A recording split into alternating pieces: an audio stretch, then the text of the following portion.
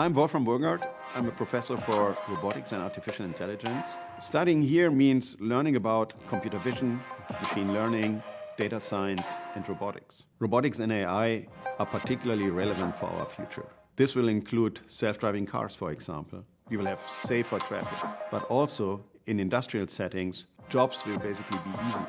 When you graduate from the University of Technology in Nuremberg, you will have excellent chances for your future career. This includes positions in industry and research organizations. The name of our robot is Rosie. Playing with robots is the most funny thing in my life.